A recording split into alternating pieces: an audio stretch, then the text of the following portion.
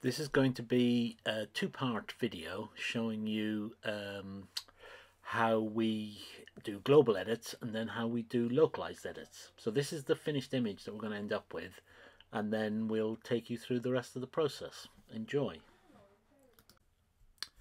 Alrighty, so today we're going to go through a few global edits and a couple of localized edits just to give you an overall feeling for what we do with a picture. Okay, so as always, I like to start with a crop just to get rid of what we don't want. And just looking at this picture, can you see that all of this here in the foreground, A is a bit blurry because it was a long exposure and it's just not interesting to us. Got a little bit of brightness over here, which we can fix later. And we've got this going on up here. So we could retouch that out, but I think let's just go the lazy way and uh, crop it out. So just grabbing our bottom corner. And we'll come up most till we've covered most of those plants and we'll hold it there. And straight away we've got a much stronger composition.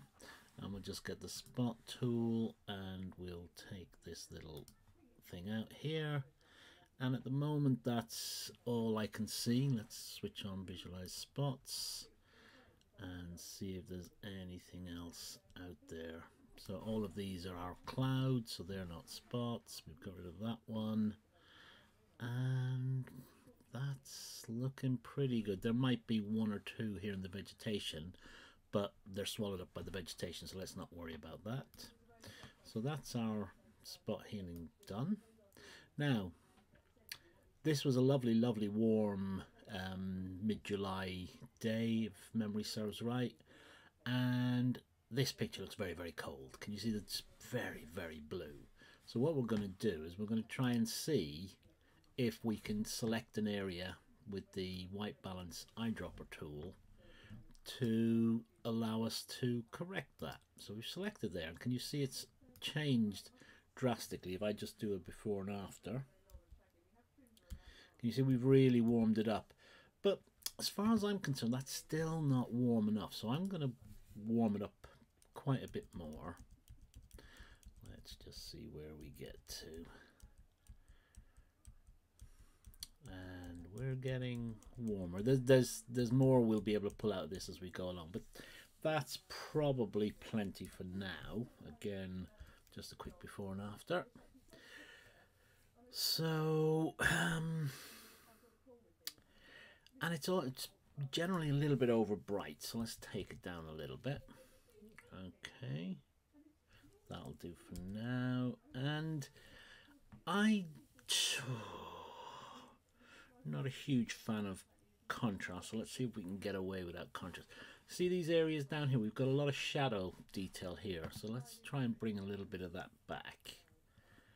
Let's so can you see how we've brightened up the picture by opening up the shadows again so lovely, lovely bit of detail. But we don't we don't want to go completely crazy and show it all. That's it's it's almost the opposite problem. So let's let's just keep a little bit of mystery in that uh, bank, but with some detail showing.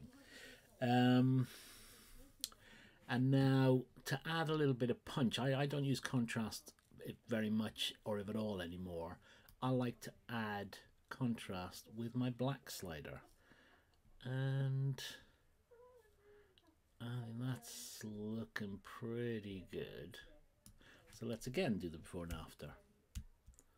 Okay, and because we've added back in a lot of black, we might add back in a little bit of um, shadows. Yeah, that looks pretty nice. And this is the thing to remember, as you go through these sliders, there's no perfect setting for any one particular slider cho choosing one, like when we'd done the shadows, they looked great. But as soon as we added some black in for punch, it knocked a bit of the shadows back. So we went back up and we moved the shadows again. So we'll add a little bit of clarity. And, and I, I do all this by eye. And then when I come to print it, if I think I've really, really screwed it up, the print will tell me and I can then go back and fix the bits and pieces. But let's, let's, I, I try to go for what looks good to my eye initially. So Let's punch up these colors a little bit. Um, so that's that's look at how much better that is already. So let's add a little bit of saturation as well, just a little bit of extra punch in there. Yeah, we're we're we're liking the look of that. So that's pretty much a starting position. So that's that's our global adjustments to that point. Remember to join us for part two where we do the localized adjustments. See you soon.